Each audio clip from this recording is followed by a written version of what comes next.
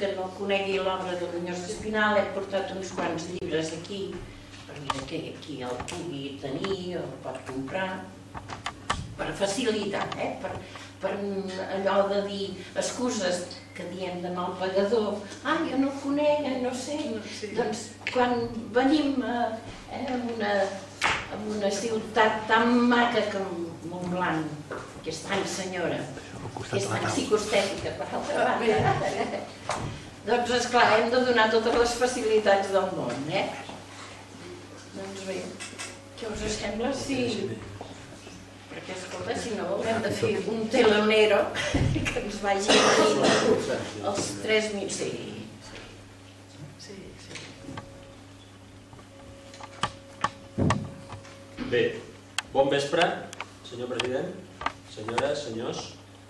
Avui ens trobem en aquesta meravellosa vila de Montblanc, poble quasi mil·lenari, per retre homenatge a un català il·lustre, el psicòleg grafòleg, escriptor, gran pensador i creador de la ciència psicoestètica, Carles Muñoz i Espinal. Va néixer a Montesquieu, al Ripollès, l'any 1920 i traspassar a Barcelona l'any 1993. Per un poble tan maltractat com és Catalunya, retre homenatge a un dels nostres eminents savis, esdevingut ja un català universal, és tasca obligada, convertint-se en un acte de dignitat que exemplifica abastament l'estima de la seva nació. Carles M. Espinal representa, entre d'altres moltes coses, els valors de l'ètica humana, valors que va transmetre a tots aquells que tingueren el goig de conèixer-lo i poder gaudir del seu magistral mestratge.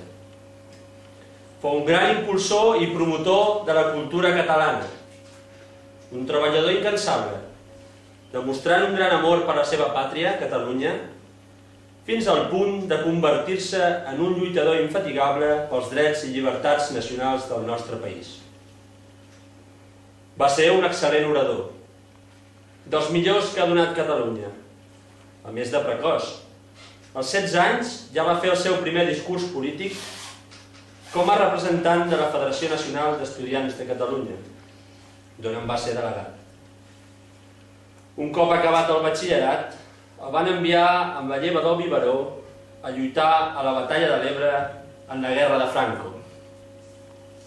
Muñoz i Espinal afirmava va ser com haver anat a la Universitat de la Vida, degut a la transcendència de les experiències que va haver de viure les quals van marcar la seva vocació com a psicòleg. Fou un gran impulsor i divulgador de la psicologia humana, individual i col·lectiva, així com un gran divulgador i innovador de la grafologia, fent aportacions que encara són vigents en els centres grafològics més importants en aquesta matèria. L'any 1950 va fundar, amb la col·laboració de l'Institut Belpos de Delfí del Mau, l'Escola Grafològica de Barcelona. L'any 1952 va substituir el famós psicòleg i grafòleg, considerat el millor del moment en grafologia, Max Pulver, en la direcció psicotècnica de dues importants empreses suïsses, Nestlé i Laboratori Sandoz.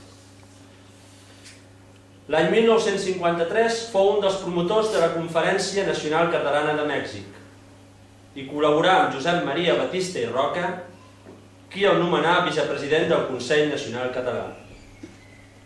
Tanmateix, fou membre de la Junta Consultiva d'Òmnium Cultural des de la seva creació, cofundador del CAOC, Centre de Germanament Occitano-Català, fundador de l'Institut de Projecció Exterior de la Cultura Catalana, vicepresident del Club d'Amics de la UNESCO i candidat d'estat català en les primeres eleccions catalanes.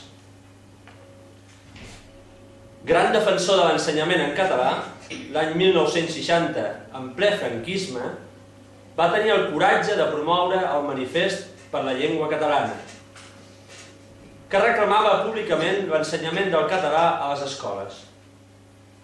Aquesta carta fou signada per 100 personalitats catalanes de prestigi, en recorda el Consell de Cent.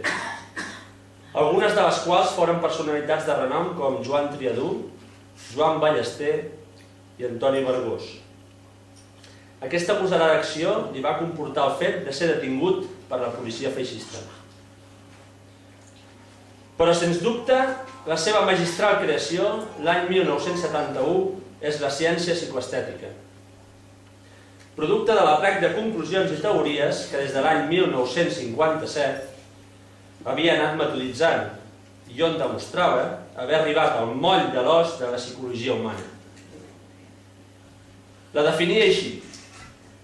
És la ciència que estudia l'ésser humà a través dels artificis que ha creat per tal de sobreviure i afirmar-se.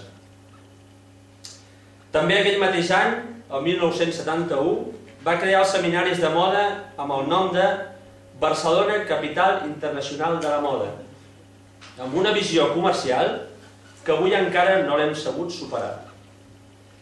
Desitgem que quan Catalunya sigui independent sabrem superar-nos a nosaltres mateixos. La frase que encapçala la seva obra escrita sintetitza la seva peculiar manera d'interpretar i sistematitzar la psicologia de les persones, fet que demostra els seus grans i profuns coneixements sobre l'home modern. La frase diu així, sense una coherent interpretació de si mateix i del poble on hom s'arrela, ningú pot tenir la personalitat desitjada. Realitzar un gran nombre de cursos, seminaris, conferències, on desenvolupar una important activitat en camps tan diversos com la pedagogia, la psicologia, la grafologia, la política o la moda. També va donar cursos de psicoestètica directiva en diferents camps professionals. Així, va ser consultat per empreses més, per les empreses més importants del país i també de l'estranger, com ara Alemanya, Itàlia, França, Portugal i Amèrica. Va assessorar també importants professionals de la perruqueria com Llongueres, Iranzo i Cebado, i diferents polítics catalans com Trias Fargas i Heribert Barrera, fins al punt d'arribar a assessorar en la campanya de l'expresident dels Estats Units d'Amèrica, Jimmy Carter. És potser la persona que més va aprofundir en el coneixement del caràcter català, fet que el va portar a determinar que el nostre poble necessita refer el seu caràcter d'una manera urgent si vol assolir la seva llibertat nacional, ja que com a conseqüència de 300 anys de colonització, el nostre caràcter ha quedat totalment afablit i tou. Autor de 44 llibres, entre els quals s'hi troben els següents títols, del poble català, Psicologia de la gent, Saber-se entendre, Esperit de set ciències, Guanyar-se la vida, Els orígens del caràcter, Sentit polític dels catalans, Seny no és timidesa, Un mercat per al senyor Esteve, Propaganda totalitària, Moderar-se la figura, l'evolució del caràcter català, pensar en català, l'error de certs catalanistes, l'encert dels independentistes. La presidenta de l'Associació de Practicants de la Psicoestètica, la senyora Nati Muñoz Espinal, filla de l'avui homenatjat, farà una donació d'un lot d'alguns d'aquests llibres perquè, tal, perquè puguin gaudir, gaudir d'ells. Un any abans de la seva mort, l'any 1992, va publicar el seu darrer llibre, Preludi de la Independència.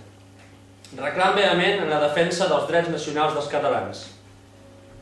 Amb aquesta última obra demostrava, de nou, la seva perspicàcia sobre els esdeveniments que s'han anat produint fins ara i els errors que calia corregir per arribar a la llibertat de Catalunya. Home de convicció patriòtica i de genialitat científica, ens alertava, mostrant-nos una gran visió de futur, de la necessitat urgent de la independència de Catalunya si no volem desaparèixer del mapa de les nacions, ja que a hores d'ara, crec, ningú té cap dubte que l'enemic no pararà fins a exterminar la nostra llengua, la nostra cultura, la nostra economia i la nostra nació. Carles Muñoz Espinal va ser un home que sempre va anteposar els seus èxits professionals per estar al servei de Catalunya. Per resumir, els diré que la seva clarividència ens ha fet veure el camí de la necessària, possible i desitjable independència de Catalunya, tal com demostren els fets actuals després d'haver passat 21 anys de la seva mort. Vull esmentar també que la ciència psicoestètica s'està impartint per tot el món, en universitats, en instituts de tota mena, en centres de psicologia, en centres de formació de líders i en molts altres camps.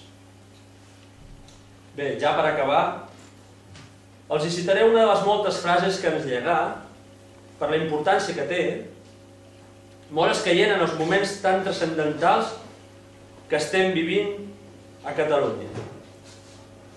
La frase diu un poble que no té dirigents amb caràcter no pot tenir destí. Moltes gràcies a tothom per haver vingut a aquest acte tan entranyable per honorar a un dels nostres savis més eminents i universals. Sense més dilació, passo la paraula als ponents. En primer lloc, parlarà la senyora Esther Arbós i Tarragó, pedagoga. En segon lloc, parlarà el senyor Josep Batalla i Seguí, arquitecte psicoesteta. En tercer lloc, parlarà el senyor Salvador Brulles i Moragues, professor de psicoestètica a Reus.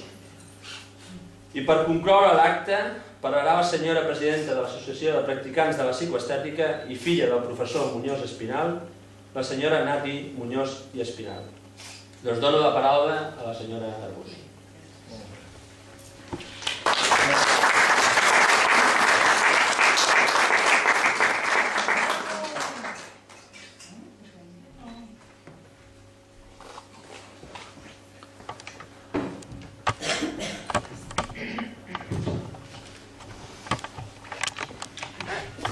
Senyores, senyors, senyor president, bon vespre.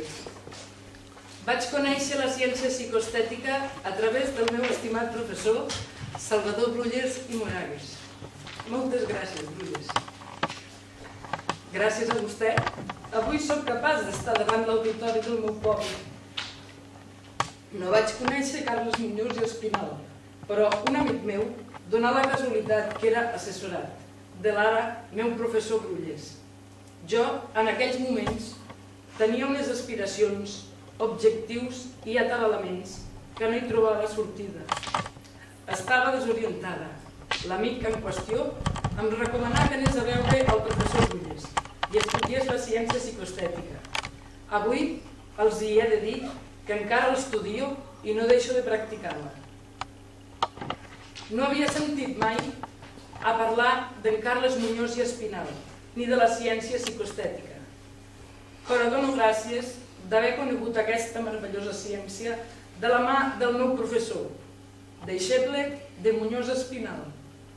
Estic molt agraïda al professor Espinal per haver creat una ciència que ajuda a formar un caràcter, un caràcter personal en forma i que et faci ser capaç de lluitar sense defalliment tant professionalment com socialment, contribuint així al nostre èxit personal. La ciència psicoestètica em va sorprendre pel seu mètode senzill, profund i clarificador, perquè està basat en gràfics i, a més, en frases motivacionals enriquidores, pel seu raonament tan natural, pel natural tarannà català. Va ser per mi un canvi de mentalitat, que em va fer afinar els meus pensaments fins on jo mai hagués pensat, per no traspassar la línia mental de l'esforç. D'aquí ve la famosa frase psicoestètica que diu així Com més m'esforço, més sort tinc. I els hi he de dir que es compleix exactament així. Un dels valors que ens ensenya la ciència psicoestètica és estimar allò que fas. Es tracta, doncs, simplement de fer que t'agradi el que necessàriament has escollit de fer, ja sigui per obligació o per vocació. Aquest fenomen l'hem de saber entendre, que ens ajudin a avançar. Tot t'ho fa fàcil, de poder assolir l'èxit, de les nostres escomeses diàries, que amb voluntat ho podem aconseguir ben bé tot el que ens proposem, perquè voler és poder. Com he dit, no vaig conèixer Muñoz Espinal, però de tant en tant el professor Brulles m'explica una lliçó i em concreta un fet. Em diu aquesta frase. Jo sóc el seu professor, oi? I per extensió, Muñoz Espinal, el de tots dos. Llavors em dóna la sensació que la força telúrica del seu esperit com si fos allí amb nosaltres. La psicoestètica també ens ensenya a superar-nos, a millorar,